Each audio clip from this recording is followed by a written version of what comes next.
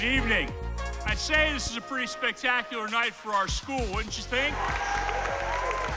Boys Latin is a school that changes lives. We have for 175 years, and you and I both know we're just getting started. To Boys Latin School,